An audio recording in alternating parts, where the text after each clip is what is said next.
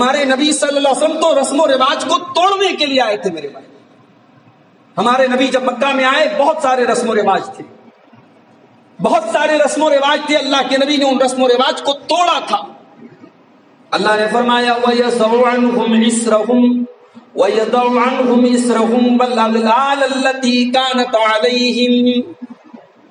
मेरे नबी ने तुम्हारे कंधों पर से रस्म रिवाज की बेड़ियों को हटाया मेरे नबी ने तुम्हें रस्म रिवाज से आज़ाद किया है। बहुत सारे रस्म रिवाज से तुम परेशान थे। तुम्हारे तुम्हारे लिए बोझ थी वो रस्म रिवाज। मेरे नबी ने तुमको उनसे आज़ाद किया।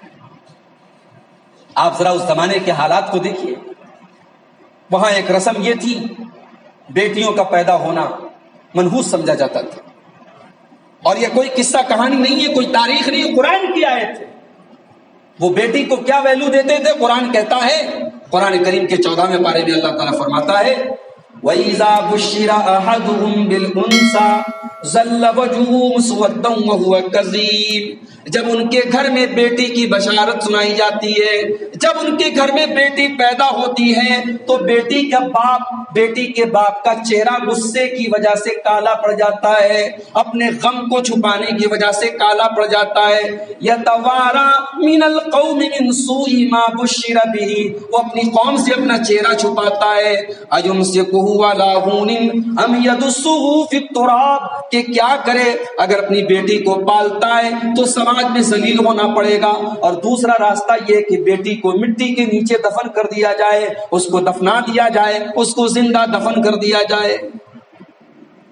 अल्लाह के प्यारे नबी ने इस रस्म को भी खत्म आपने दुनिया को पैगाम दिया कि बेटी, कलंक नहीं है, बेटी बोझ नहीं है, बेटी तो रहमत है।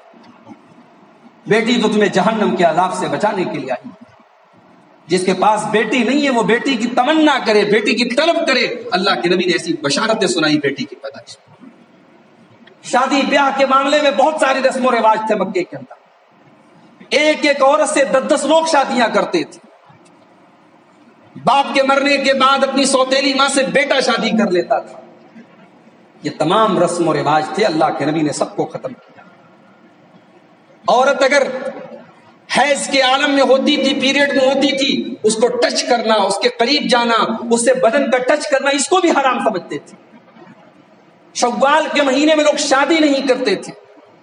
अम्मा आयशा रज़ी अल्लाह तला कहती है, बुखारी के अल्फाज हैं, ये लोग कहते हैं, शव्वाल का महीना मनहूस होता है।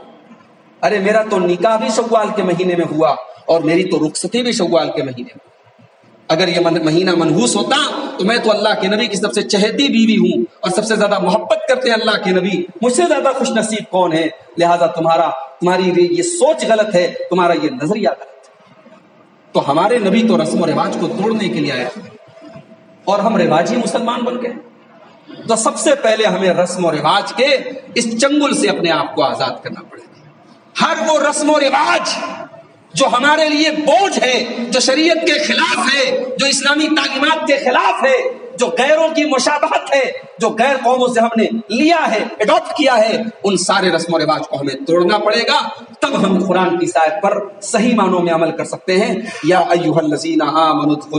काफा ईमान वालो, तुम इस्लाम में पूरे के पूरे दाखिल